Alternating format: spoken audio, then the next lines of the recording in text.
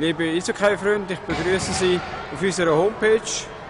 Wir haben jetzt im ersten Wochenende vom März ein Nachwuchsturnier durchführen in Rheinach.